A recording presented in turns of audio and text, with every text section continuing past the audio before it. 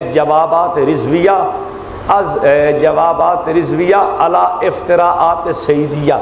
इसमें हामिद सईद काजमी पे कुफर का फतवा है और दूसरी किताब का नाम है मारकत ज़म। इसमें भी कुफर का फतवा है। आप इसको ख़रीद लें। तहकीक़ात ग़ुलाम मेहर अली में दोनों रिसाले छप चुके हैं और काजमी साहब पे फतवा कुफर का है। इसी काजमी पर एक तीसरी किताब छपी है कुफर की तस्दीक़ात लदफ़ तलबिसात। चौथी किताब छपी है इनके कुफर पे और इनके वालद के कुफर पे।